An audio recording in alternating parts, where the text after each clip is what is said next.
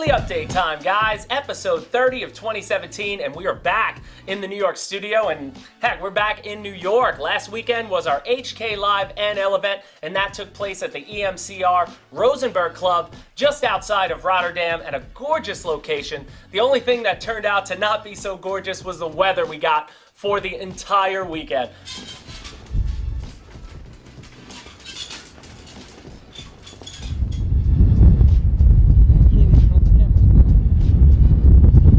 Couldn't believe it. It rarely happens. Apparently, you know, all the people from the Netherlands were telling me it's very rare we get weather like that, but we were dealing with 20 to 30 mile an hour winds all weekend long, periods of just torrential downpours where you couldn't really do anything. So, uh, of the, we had more than 100 registered pilots. I'm not sure half of that ended up showing up. I mean, who would show up to, you know, weather like that and risk their big models? But uh, for the people who did show up, we wanted to thank you so much. I wanted to thank Tom over at the club, all the volunteers there for putting on a great show in spite of the weather. I mean, every chance we had to fly, whenever the, there would be little breaks in the weather, sometimes the wind would go down to maybe 20, 15 miles an hour, and we were getting a chance to fly some of our models. Mostly for us, as far as the foamy goes, we did a lot of uh, EFXtra gaggles. We must have had 10, 12, 15 EFXtras at the club, uh, all random people who own them and the ones that we brought. So we were doing a lot of the flying, a lot of those models, uh, the Excaliburs. We had a lot of people there flying those.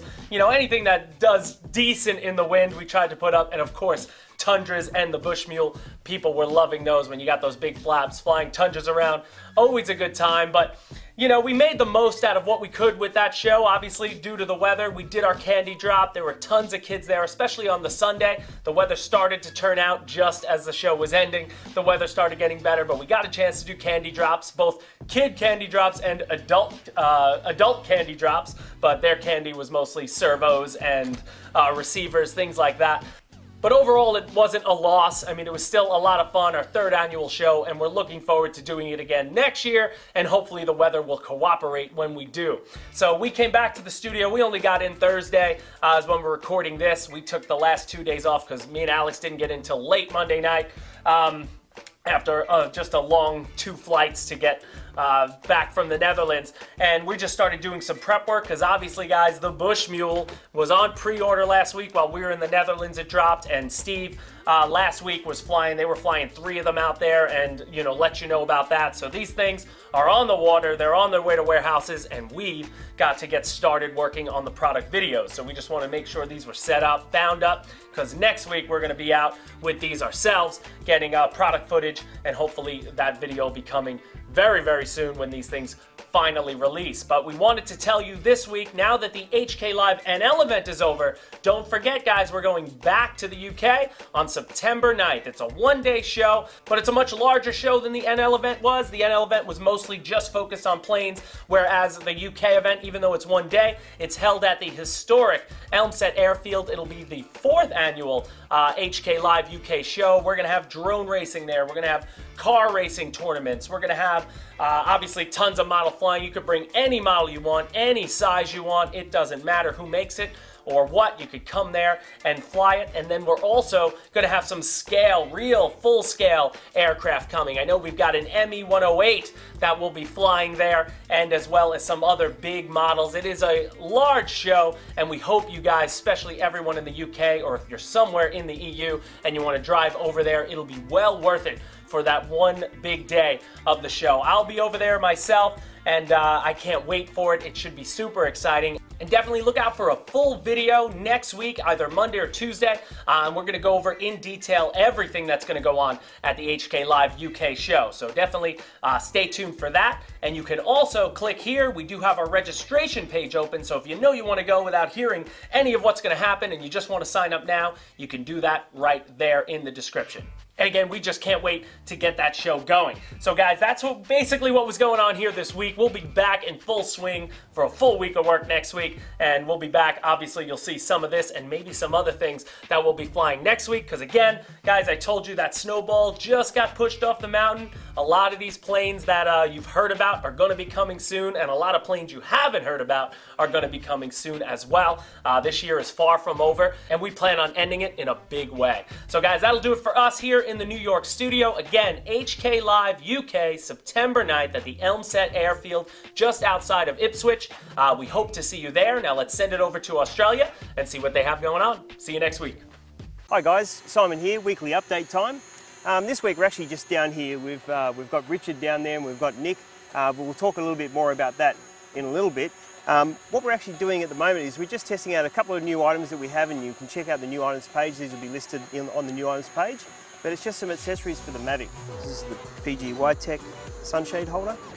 Just a simple little system of rubberized straps that go around your iPad and it hold, holds it very securely in place.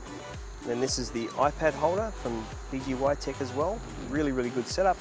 You can move the orientation of this a little bit. You can put it to the side so just demonstrating it without the iPad on there, but it's just basically a simple clamp system, so you can clamp down your iPad. That's a really, really secure fitting on that. Now on the front of the Mavic there, which you'll be able to see, is I've actually got one of the filters on the camera. So we're actually selling this as the filter pack, so it comes with all the different filters in one little pack, which is a great little system. We also sell them for the Phantom 4. So anyway, I'm just going to put this up and have a bit of a flight around and um, enjoy the footage. So with this filter on here, a really, really nice um, image that I'm getting. And with this sunshade, it really is blocking out a lot of the light that I would normally be having reflecting on the iPad screen. So it's a great little setup for the iPad to be held into the controller. And with this sunshade, it's, uh, it's brilliant. Now, as I mentioned before, we do have Richard and Nick down with me here today. Now what we're actually going to have is we're going to have Richard flying the Falcore. Now Richard has about 10 years experience? 10 years experience not, he's literally has not flown a drone before so we actually wanted him to, to give this a bit of a test and from a total novice's um, point of view and see if he can actually fly this around. So it should be fine, you're in good hands here. Oh mate, I'm sure I am. Feel safe already. You're nervous?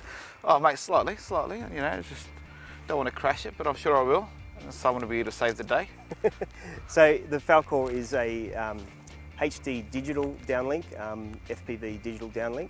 So with the Falcore HD, it actually has ultrasonic sensors underneath it. So basically a novice can really fly this without any experience at all and be able to just scream around the park with very little chance of actually crashing and obviously you can crash into things but the ground is the, the hardest thing not to crash into and with this sort of system we can put this in shield mode and it basically rises up to about a metre and a half and you can literally just fly it around with one stick. If you get into trouble there's a little panic button on the side where it literally just stops itself and then just comes in to land. So I'll explain all that to Richard in a sec and we can get him up in the air and see how he goes. Now, small movements work best. Look out people. All right.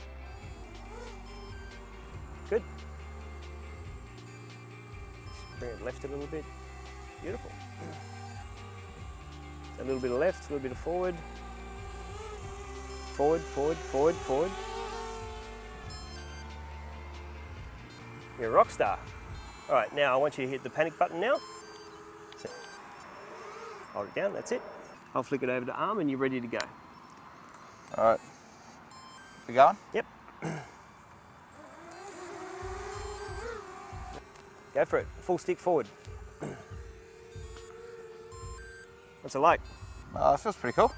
Just trying to get used to the fact that, you know, I'm not actually looking at it, I'm looking at a screen. Yep. Um, so trying to get my bearings. How close am I to the ground? It feels like I'm really close to the ground though. You're about a metre, metre and a half away from the ground. Okay. It's perfect. You're not crashing at all. How do you feel about going through the goalpost? There's the goalpost, okay. You can do it through the goalpost, just nice and easy. That's the world's biggest air gate that you just went oh, through. Hey, not bad for your very first flight with it. It's really smooth and sensitive. Like the minute you touch it, it just moves. It's pretty cool. What it actually does, it's a little bit of mixing. So as you're actually banking, it's actually yawing at the same time. Yep. So it's doing everything basically for you in this shield mode. So that was Richard's very first flight with a multi-rotor. and I tell you what, you didn't do a bad job all. You can take the glasses off now. Um, what do you think? It was pretty cool. Smooth, easy to handle. Picture was crystal clear, which was really good. Yep. No, I had fun. It was really good. It was really exciting.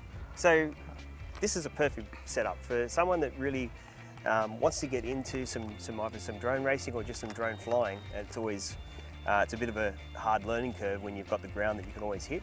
But with the Falcore, it's beautiful. It really does handle the, um, the very first flights and just to get your your sticks and things going, and it's a a beautiful confident, HD link. What was the vision like? Vision was really clear. It was really awesome. It was actually easy to see. Um, but yeah, like I said, it was smooth, easy to handle. Um, no issues.